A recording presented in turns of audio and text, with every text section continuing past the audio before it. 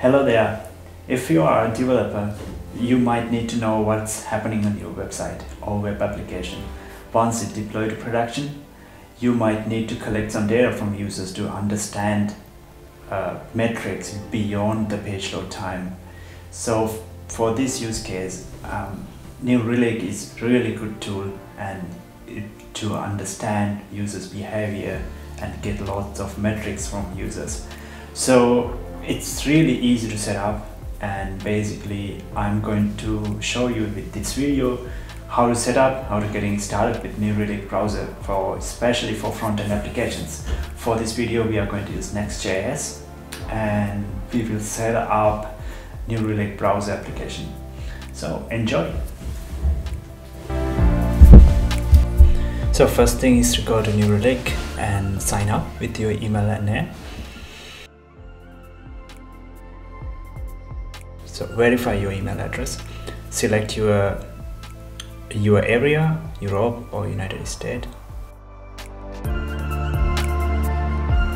And you will end up in the New Relic dashboard. So click on the browser and then add your first application.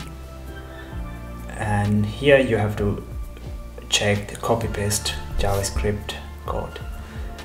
Then give a name to your application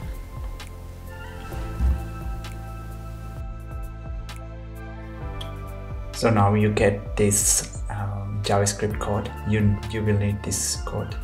So first thing i'm going to go to my project and open in vs code.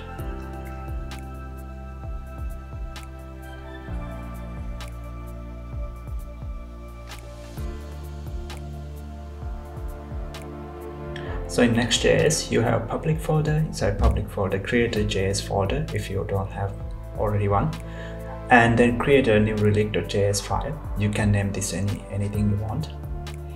And now go back and copy paste the javascript code you got from the new relic application.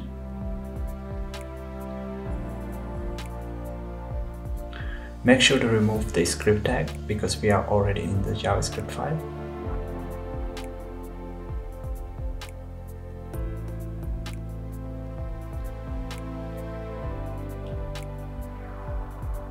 now I'm going to start my application so.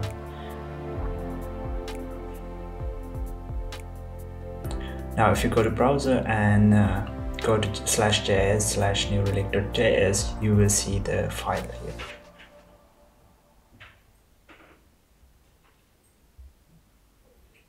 All right.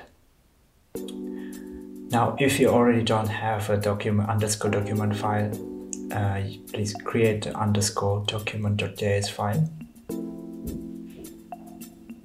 Here uh, you need to include an async script with js new relic.js. And now if you run go to your application, just go to some pages and uh, just to collect some data for New Relic.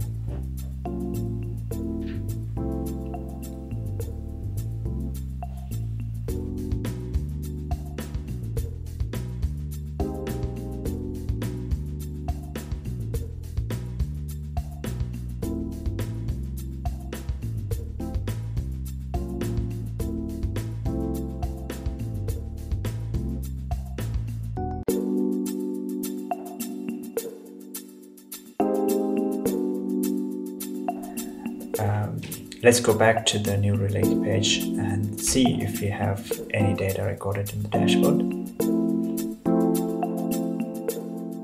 You click on the application and you might see already some data li Core Web Vitals. Yeah, that's it. Hope you enjoyed the video. Thank you.